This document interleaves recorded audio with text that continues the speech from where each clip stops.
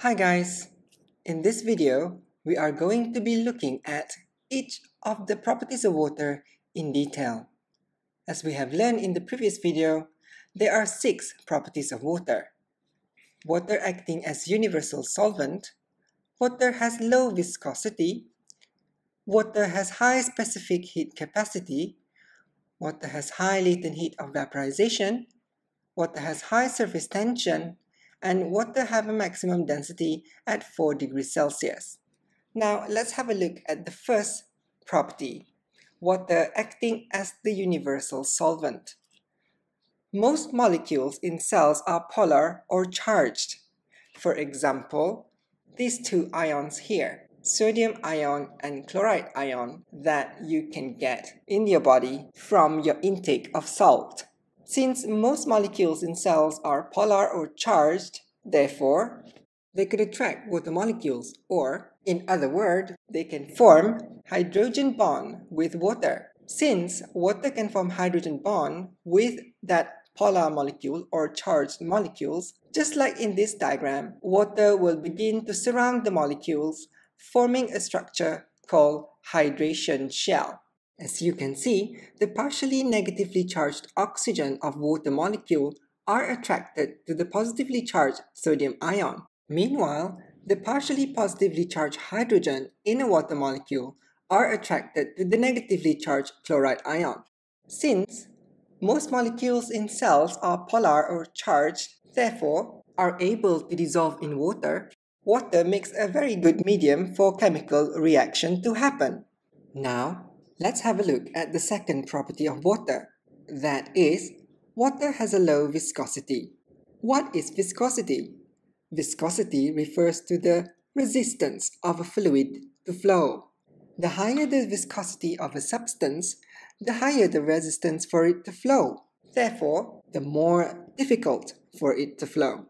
However, water has a low viscosity. It means it is easy for water to flow. This is because the hydrogen bond between water molecules are simply attractions. Because hydrogen bonds are simply attractions, they can be easily broken down and reformed, thus enabling the water molecules to slide past each other with ease. Now let's consider this video that I have prepared for you. In this glass, I have unconnected pearls, as you can see. This represents water molecules that are not physically connected to each other, but by only attractions called hydrogen bonds. In this glass, however, I have pearls on a string, as you can see. This represents a compound where its molecules are held together by a much stronger bond. Now, let's have a look at what happened when we pour the unattached pearls out of the glass. As you can see, it flows easily.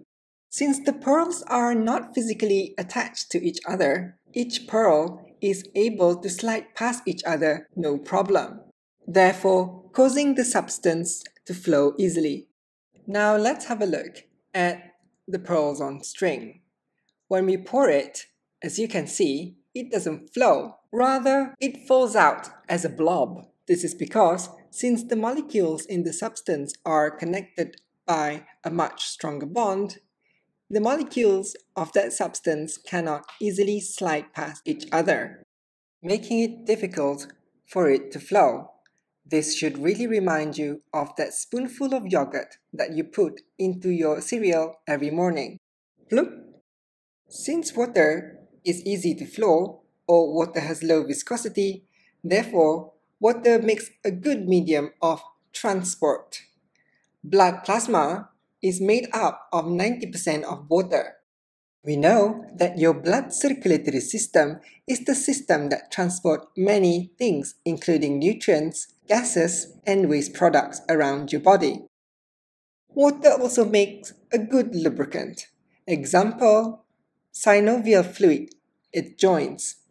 This is a diagrammatic representation of your joint and it is lubricated by a fluid called synovial fluid which is rich in water.